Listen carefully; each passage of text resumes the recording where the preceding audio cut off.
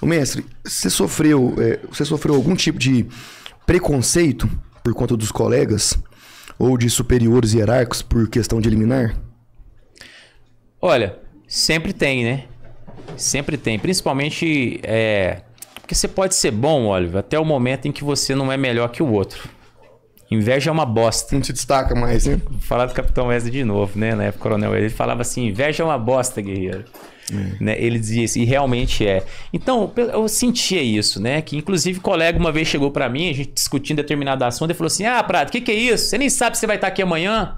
Aquilo me machucava. Nossa, pra que falar isso, Aquilo né? Aquilo me fazia mal. Eu falava assim, pô, o cara não sabe o que eu tô passando, pô. Que ruim. Mas enfim, meu amigo, a minha força não tava em mim, não tava ali. Tava e esse em... cara tá na polícia até hoje? Não. eu sabia, tá vendo o que eu perguntei? é sempre assim, cara. Esse cara tá excluído. Tá vendo? É sempre. Você viu isso aqui, tio Você entendeu o mistério aqui? Ele tava de eliminar, aí um colega outro milionário tá de eliminar, né? Ah, você não sabe nem se vai estar aqui amanhã. Eu perguntei de propósito, o cara que entrou efetivamente, né? Passou o estágio probatório, adquiriu a estabilidade do cargo, tudo bonitinho, foi excluído. É. Eu falo pra você, cara, Deus é. O cara, Deus é. Muito capota, né? Deus é perfeito, cara. É. Deus é perfeito. Enquanto Deus estava cuidando de você, o, o, o, endemoniado lá querendo te diminuir, Deus, peraí. É. Peraí que eu vou resolver seu problema agora mesmo. É desse jeito que acontece. É desse jeito. Agora, assim, a administração, né, os outros colegas, a maioria das pessoas ali me ajudavam, né, me, me consolavam nesse sentido de me apoiar naquilo.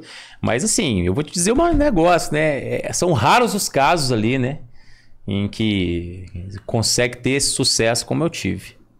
Não é fácil. Entendi. Não é fácil. Principalmente com relação a você ter essa estabilidade. Emocional. É. Emocional. Mas a vida não é assim, meu irmão. É. O que é garantido na nossa vida? Nada, né? Nada é garantido. Inclusive, isso me recorda uma história muito bonita de Jesus, né? Por que, que ele escolhia pescadores? Por que, que ele escolhia pescadores, né? É Eram pessoas acostumadas ali com aquele mar da Galileia, cara. Recebia, né? É, massa de ar quente ali que vinha da África, do Saara, aquilo tudo assim. Do nada vinha uma tempestade. Olha os barcos, as barcaças da época. Uhum. Eram todas frágeis, pequenas. Eram pessoas que eram acostumadas para sair para trabalhar, para pescar, não sabia se voltava, Gabriel.